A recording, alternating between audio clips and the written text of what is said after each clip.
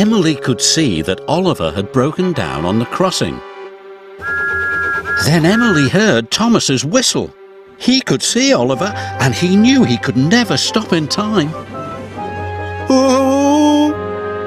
Emily charged towards Oliver and with a huge effort pushed him across the tracks.